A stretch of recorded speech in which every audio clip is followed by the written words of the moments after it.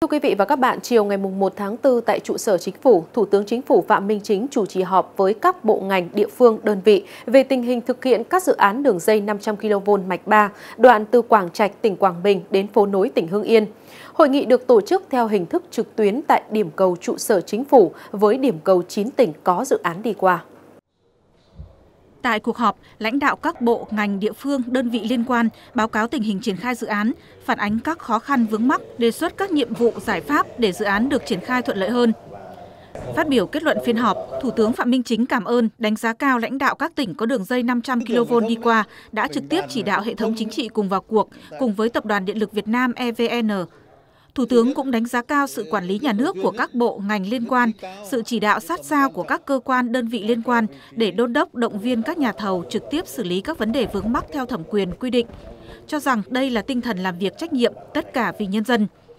Thủ tướng cảm ơn nhân dân nơi có dự án đi qua đã nhường đất, chỗ ở, đất canh tác, công trình dân sinh khác để cho dự án, đảm bảo đúng tiến độ, góp phần khắc phục tình trạng thiếu điện với tinh thần vì lợi ích chung của đất nước và cảm ơn các nhà thầu đã tập trung cao độ, huy động mọi nguồn lực có thể, các doanh nghiệp cũng tích cực tham gia dự án.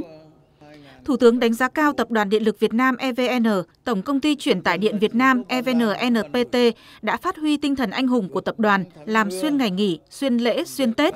Nhờ đó đến nay, dự án cơ bản đảm bảo tiến độ đề ra trước ngày 20 tháng 6 năm 2024, hiệu chỉnh kỹ thuật trong 10 ngày để đóng điện công trình vào ngày 30 tháng 6 năm 2024.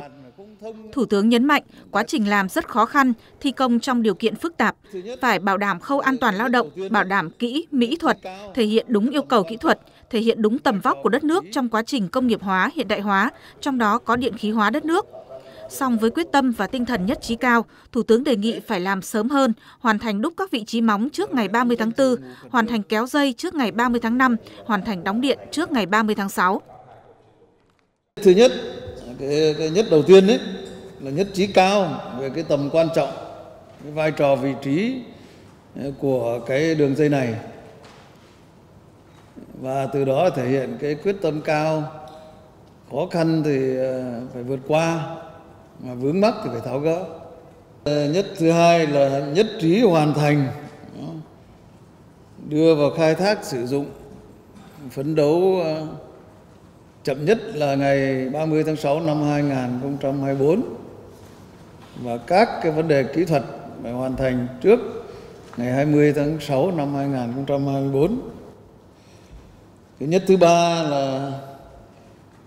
nhất trí phối hợp chặt chẽ hiệu quả giữa các bộ ngành với nhau, rồi giữa các bộ ngành với các địa phương. Một cách nó chặt chẽ, hiệu quả đảm bảo kịp thời tiến độ nhưng mà phải chất lượng và an toàn lao động. Thứ nhất thứ tư là nhất trí hoàn thành, bàn giao các loại mặt bằng, hành lang tuyến, khoảng neo là đúng cái tiến độ mà tập đoàn điện lực Việt Nam đã đề ra.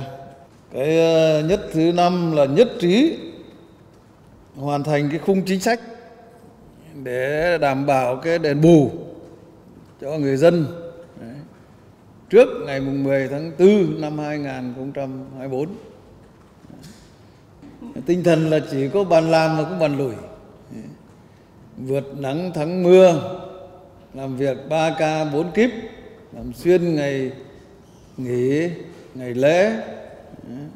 ngày Tết, rồi ăn tranh thủ ngủ khẩn trương với một cái tinh thần là tất cả vì lợi ích của quốc gia dân tộc vì nhân dân vì sự phát triển của đất nước Thủ tướng nhấn mạnh nguồn lực bắt nguồn từ tư duy, động lực bắt nguồn từ sự đổi mới, sức mạnh bắt nguồn từ nhân dân. Trên tinh thần đó, chúng ta có cơ sở để đặt mục tiêu cụ thể chứ không mơ hồ. Thủ tướng Chính phủ Phạm Minh Chính một lần nữa yêu cầu quá trình làm cố gắng tránh các hiện tượng tiêu cực, đảm bảo an toàn lao động, nhất là thi công trên những vị trí hiểm trở, cột cao tiềm ẩn nguy hiểm.